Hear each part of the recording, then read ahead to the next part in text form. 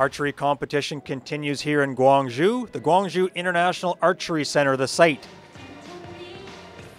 First up, the compound mixed team gold medal match. Here you see Song and Kim of Korea.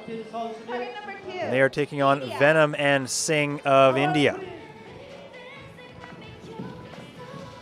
118 112 heading into the fourth and final end. This Korean duo set a Universiade record earlier on in qualification.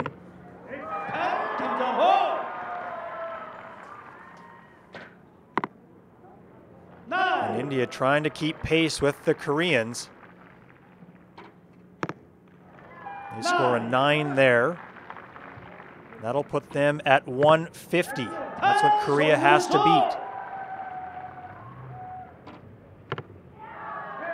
And right there, that will do it. That's enough. Korea wins this gold medal match 157 150 to take the gold medal. India wins silver. Now to the compound men's individual. Kim Jong Ho taking on Kim Tae Yoon. These two teamed up earlier to win gold in the men's compound competition. We now look on in the fifth end.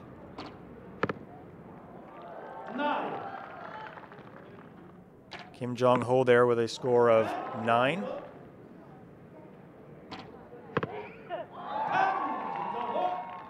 And this one will be close right to the end. You see a score of 145 for Kim Tae Yoon. Kim Jong Ho now trying to beat that, and he will. It'll be gold and silver for Korea. Kim Jong Ho with the gold. Kim Tae Yoon wins silver.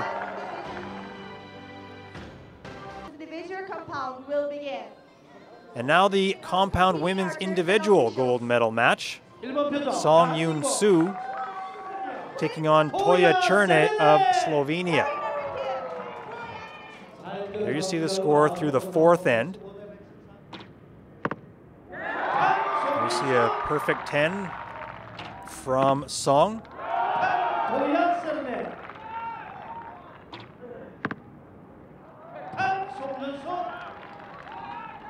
And now Černe, she will score a 9. So we're tied again at 134.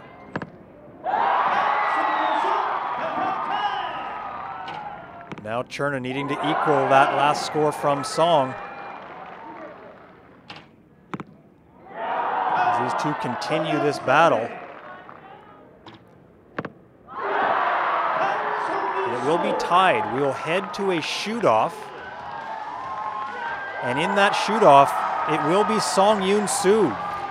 She wins gold. Toja Černe of Slovenia silver. And Stephanie Salinas of Mexico will win the bronze medal.